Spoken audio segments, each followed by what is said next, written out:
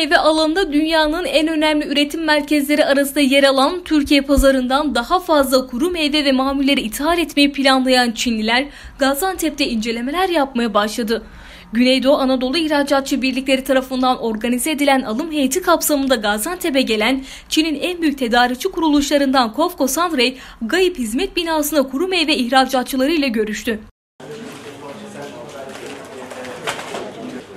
Antep fıstığı, kayısı, fındık, kuru incir, kuru üzüm ve kuru dut ithalatı talebinde bulunan Kofko Santra yetkilileri ürünleri inceleyerek Gayip Koordinatör Başkanı Ahmet Fikret Kileci ve Kuru Meyve ve Mamulleri İhracatçıları Birliği Başkanı Mehmet Çıkmaz'dan kuru meyve üretimi ve sektörle ilgili bilgiler aldı. Uzak Doğu pazarının birçok sektör için büyük önem taşıdığını ifade eden Gayip Koordinatör Başkanı Ahmet Fikret Kileci, doğal ürünlerin yanında bu ürünlerin işlenmiş hallerinin de ihracatını hedeflediklerini ifade etti. Ee, Çin'den Kofko firmasından bir satın alma heyetimiz var. Onları misafir ediyoruz. Amacımız Antep fıstığını, Malatya'nın kayısısını, Türkiye'deki e, kendi öz kaynaklarımızdan elde ettiğimiz kuru yemişleri tanıtmak.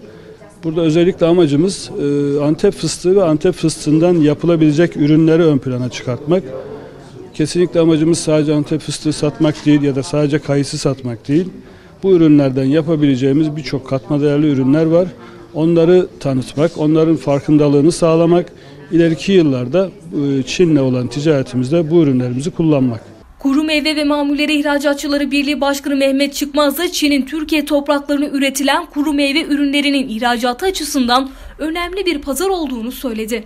Çin'den Kofko firmasını ağırlıyoruz ve şeref duyuyoruz. Kendilerine bölgemizin kuru meyvesini yani kayısı, dut, Antep fıstığı özellikle onları tanıtıyoruz. Onların alım heyeti burada. Şu anda ön inceleme yapıyorlar. Ön inceleme sonucunda işte kendileri konuşuyoruz. Raporlar sunuyoruz. Ona göre kendi değerlendirmelerini yapacaklar. Kendileri bizden bundan sonraki talepleri bulundular. Mesela özel raporlar istiyorlar. Çünkü kendilerinin ağırlıkta istedikleri sağlıklı ürünleri pazarlama Çin'de. Bu yönde, bu strateji doğrultusunda e, alım yapıyorlar.